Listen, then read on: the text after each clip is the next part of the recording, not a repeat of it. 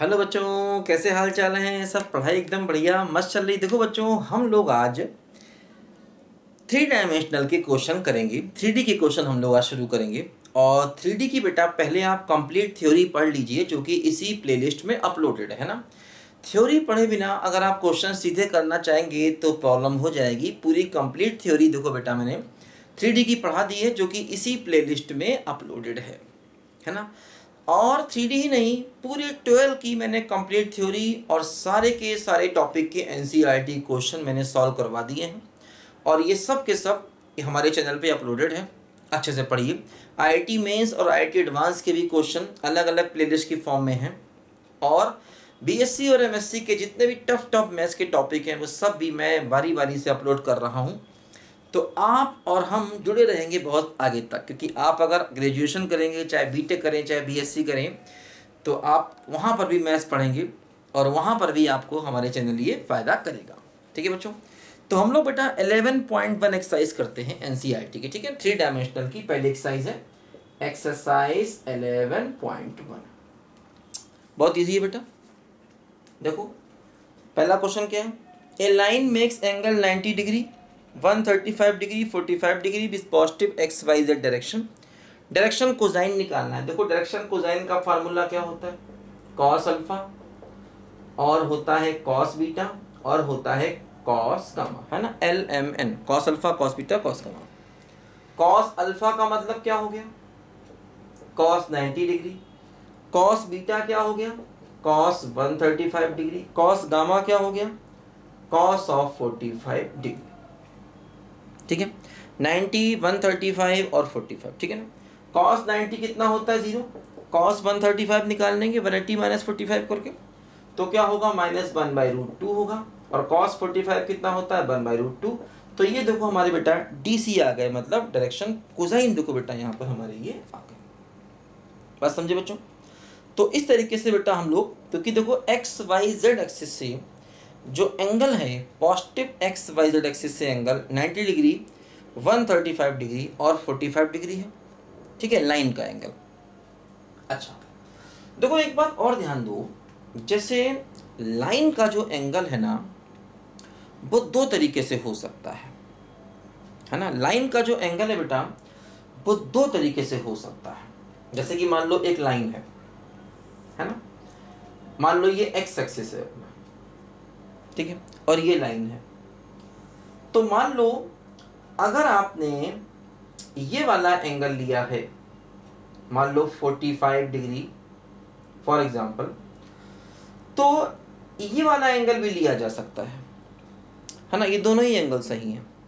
क्योंकि मैंने बताया था कि लाइंस के बीच में हमेशा दो एंगल होते हैं। मान लो आपने 45 लिया तो ये 135 भी ठीक है, ये भी ले सकते हैं। तो मतलब हम अच्छा देखो तो जैसे एक एंगल 90 है तो देखो दूसरा केस ये भी हो सकता है कि कॉस अल्फ़ा और अल्फ़ा को, अब देखो एक एंगल अगर 90 है, मान लो ये एंगल अगर 90 है तो दूसरा भी 90 ही होगा, कोई समस्या नहीं, है ना? तो ये तो कॉस 90 ही रहेगा ज़ीरो ये जो m है ना, m, देखो कॉस बीटा है, अब बीटा जो है वो 135 अगर है अगर बीटा 135 है तो 45 भी लिया जा सकता है, क्योंकि लाइन के पार्ट डायरेक्शन नहीं होती है। ये बात बेटा थ्योरी पढ़ाते समय मैंने बहुत डिटेल से आपको समझाई भी थी कि दो लाइंस के बीच में दो एंगल पॉसिबल हो सकते हैं, है ना? मान लो दो लाइनें हैं तो इनके बीच में दो एंगल हो सकते हैं। एक ये एंगल हो सकता है और मान लो एक ये भी एंगल हो सकता है। वेक्टर के बीच में एक ही एंगल होता है, ये मैंने समझाया था आपको, ठीक है? तो अब देखो यहाँ पर इसे 135 का एंगल है। तो इसको हम 45 डिग्री भी ले सकते हैं तो वन बाई रूट टू हो जाएगा। और यहाँ पर देखो, n क्या है? कॉस गामा और यहाँ पर एंगल 45 है तो इसको हम कॉस 135 यानी कि minus one by root two भी यहाँ पर बच्चों ले सकते हैं। ठीक है ना? तो ऐसे करके बेटा देखो, यहाँ पर हमारे दो आंसर होंगे, एक ये भी होगा और एक ये भी होगा। तो लाइंस के डीसी के हमेशा दो सेट होते हैं। वेक्टर का डीसी अकेला ही होता है लेकिन लाइंस के डीसी जो हैं, ये दो पॉसिबल होते हैं। ये बात मैंने बहुत डिटेल से आपको समझाई थी कि लाइंस के डीसी और वेक्टर के डीसी में फ़र्क होता है। ठीक है ना? वेक्टर का डीसी अकेला होता है लाइंस के डीसी के दो सेट पॉसिबल होते हैं। ये बात मैंने बहुत अच्छे से आपको थ्योरी पढ़ाते समय समझाई थी। ठीक है? तो समझे ना, क्योंकि वेक्टर के पास फिक्स डायरेक्शन है। अब लाइन जो है, जैसे कि मान लो वेक्टर ए है इधर क्या लेंगे तो वेक्टर माइनस ए होगा। तो लाइन जो है ऐसे है तो वो वेक्टर ए के भी अलोंग है और वेक्टर माइनस ए के भी अलोंग है लाइन, है ना? इसलिए लाइन के पास दो डायरेक्शन कोसाइन होते हैं। ठीक है? अच्छा अब देखो आगे बढ़ते हैं।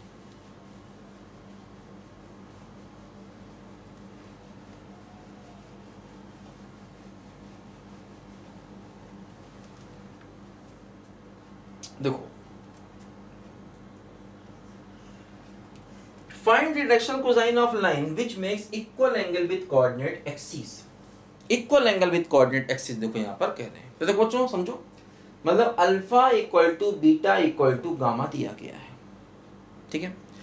तो अब देखो एल बराबर मान लीजिए कॉस अल्फ़ा है। एम बराबर मान लीजिए कॉस बीटा है।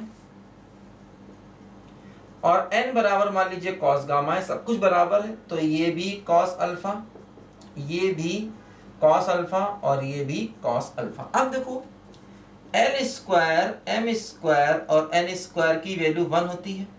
तो क्या हुआ बोलो? Cos square alpha cos square alpha cos square alpha one हो गया. तो three cos square alpha one हो गया. तो कॉस स्क्वायर अल्फ़ा हो गया वन बाई थ्री तो कॉस अल्फ़ा कितना हो गया? Plus minus one by root three बस समझे? तो देखो, जो हमारे डीसी हैं, वो देखो ये है। तो एक बार वन बाई रूट थ्री लेंगे तो क्या होगा? One by root three one by root three और वन बाई रूट थ्री क्योंकि देखो, तीनों एक से और अगर माइनस लेंगे तो क्या होगा? Minus one by root three minus one by root three और minus one by root three तो दो सेट देखो, यहाँ पर भी डीसी के पॉसिबल हो गए। एक बार प्लस ले लो तो तीनों सेम एक बार माइनस लोगे, तब भी तीनों सेम तो दो सेट यहाँ पर देखो डीसी के पॉसिबल हैं। ठीक है लाइन में हमेशा डीसी के बच्चों दो सेट पॉसिबल होते हैं। इस बात को हमेशा ध्यान रखो। ठीक है, ये क्वेश्चन हो गया बेटा। अच्छा तीसरे में देखो क्या? डायरेक्शन रेशोज दिए हैं डायरेक्शन कोजाइन निकालने हैं। डी डी आर दिए हैं और डी सी निकालने हैं। तो फार्मूला हमको मालूम है, उसको लगाना है बस। लिखो जल्दी से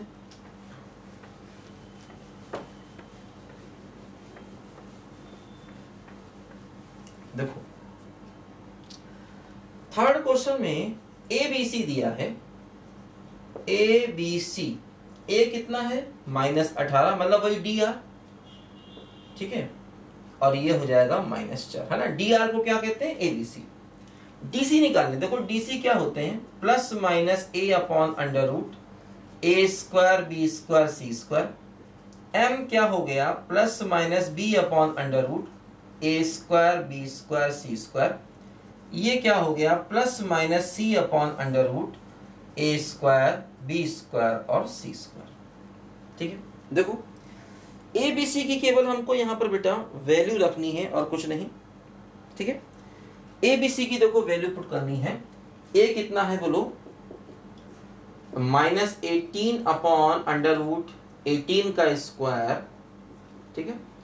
प्लस बी मतलब ट्वेल्व का स्क्वायर और ये क्या हो जाएगा? माइनस फोर का स्क्वायर।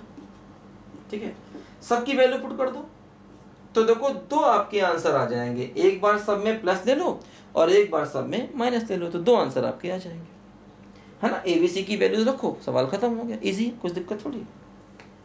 कर लेंगे ना इसको आसान। है टाइम क्यों खराब करना? देखो fourth question show that points are collinear देखो, इसको करते हैं। अच्छा क्वेश्चन है। देखो कोलिनियर के लिए वैसे तो अपने पास वेक्टर में भी एक तरीका मैंने बताया था, है ना? अगर पॉइंट्स कोलिनियर हैं, मान लो ये तीन पॉइंट्स के कोऑर्डिनेट हैं टू थ्री फोर और बी है मान लो minus one minus two one और सी है मान लो फाइव एट सेवन ऐसे देखो two three four minus one minus two one five eight seven देखो। वैसे तो कोलिनियर के लिए अपने पास वेक्टर में भी एक तरीका था। मैंने बताया था कि तीन पॉइंट्स अगर कोलिनियर हैं तो इस बात को हम वेक्टर मेथड से भी प्रूव कर सकते हैं। थ्री में भी प्रूव कर सकते हैं तो कैसे? ऐसे मान लो ये ए है, ये बी है और ये सी है। देखो जैसे ए मालूम है बी मालूम है तो ए बी का डी आर आ जाएगा। D r of a b direction ratio कैसे आता है? X two minus x one ठीक है?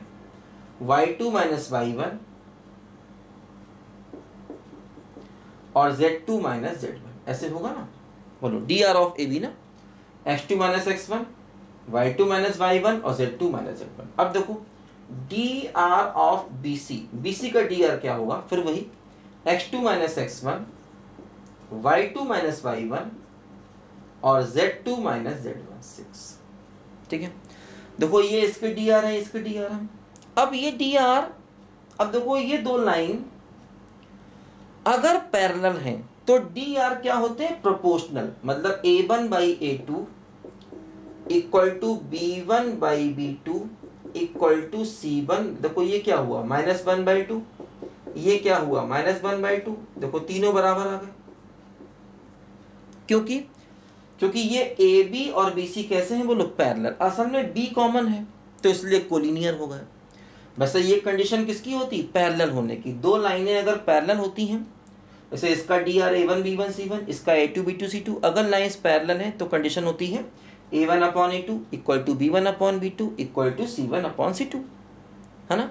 लेकिन चूँकि बी कॉमन है ना, अब जैसे ए यहाँ पर है और बी यहाँ पर है और बी इसमें भी है तो अब इसके मतलब क्या हुआ? वो पैरल नहीं, बल्कि कोलिनियर हो गए। हाँ ऐसे होता, एक ए बी होता और एक सी डी होता तो अलग बात थी कि भाई ए बी सी डी चलो पैरल है। लेकिन यहाँ तो बी पॉइंट दोनों में कॉमन है। इसलिए वो पैरेलल ना होकर के एक्चुअली कैसे हो जाएँगे? कोलिनियर क्योंकि एक ही लाइन में होंगे तभी ये पॉसिबल है। बात समझे? इसीलिए ये दोनों तीनों पॉइंट्स कैसे हो गए? कोलिनियर क्योंकि ए बी और बी सी आपस में पैरेलल आ रहे हैं और बी चूँकि दोनों में कॉमन है, इसीलिए वो पैरेलल नहीं है, बल्कि क्या है? कोलिनियर है। और वैसे कोलिनियर प्रूव करने का वेक्टर में भी तरीका था, मैंने बताया था। एक वेक्टर ए बी निकालो एक बी सी निकालो और ए बी वैक्टर को एम टाइम्स बी सी के बराबर प्रूव कर दो। ठीक है? ये हम लोग अच्छे से पढ़ चुके हैं। एक बार थ्योरी पढ़ोगे ना तो ये सारे सवाल छुटकियों में बेटा ऐसे निकल जाएँगे। ठीक है ना? चलो, आगे बढ़ते हैं।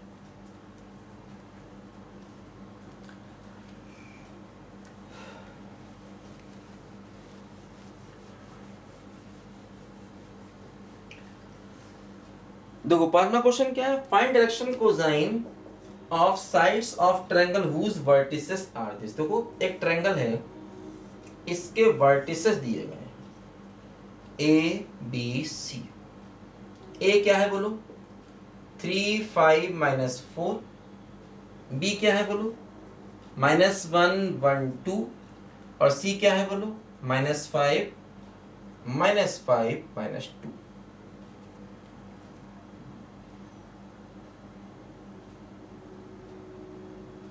ठीक है? देखो ए बी सी हमें यहाँ पर कोऑर्डिनेट दिए गए हैं ट्रायंगल के वर्टिसेस की। साइड्स का डायरेक्शन कोजाइन चाहिए। देखो, समझो ध्यान से। जैसे मान लो ए बी लाइन है ना? ए बी लाइन तो ए बी लाइन का डी आर क्या हो गया? डी आर कैसे होता है? Y two minus y one है ना? X two minus x one फिर y two minus y one और z two minus z one ऐसा हुआ ना? देखो, इसमें से इसे माइनस करो। ठीक है? तो माइनस फोर इसमें से इसे माइनस करो। माइनस फोर इसमें से इसे करोगे तो सिक्स ये ए बी का डी आर हुआ। अब डी आर मालूम है तो डी सी निकाल लो। डी सी का निकालने का वही फॉर्मूला मैंने बताया क्या plus plus minus a upon under root of a square plus b square plus का सी स्क्वायर। और फिर क्या होगा? है ना? प्लस माइनस, ठीक है? ए फिर क्या होगा बोलो? Plus minus this upon same चीज़ आएगी।